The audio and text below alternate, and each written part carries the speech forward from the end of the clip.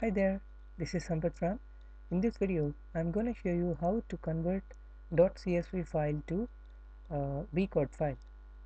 You can refer to my earlier video on converting .text file to .csv file. Uh, here's the link and for converting CSV to vCard, click on start menu, type contact, Windows contact appears click on that. Now import your CSV file to the contacts. Import it. Choose the destination.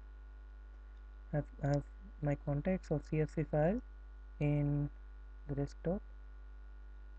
Click next. Choose the entities. And uh, for this number I'll choose mobile number. Mobile phone number. Click OK then click finish. All the contacts will be imported. Now here uh, once you have done your contacts imported to this Windows contacts so, uh, select all of those or select the appropriate ones then click on export here you can choose vCard folder of vCard files. Then click export. It will ask you to choose the destination folder.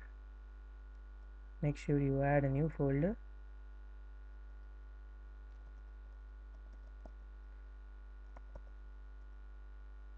Then click ok. The contacts will be exported. I hope this video helps a lot.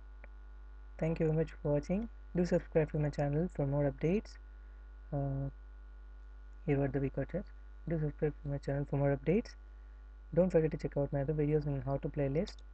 i hope you find them helpful. Thank you very much for watching. Have a great day